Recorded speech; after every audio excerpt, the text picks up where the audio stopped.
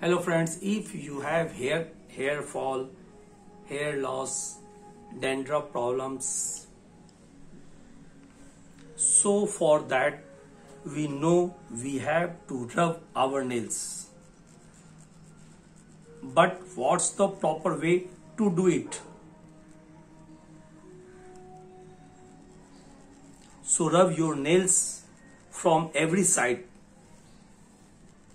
like I am doing and feel vibration in the head. And if you feel it, then it proper. And also apply mustard oil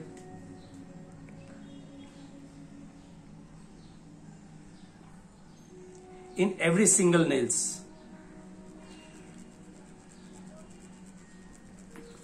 Do minimum 10 to 15 minutes twice a day thank you for watching the videos bye bye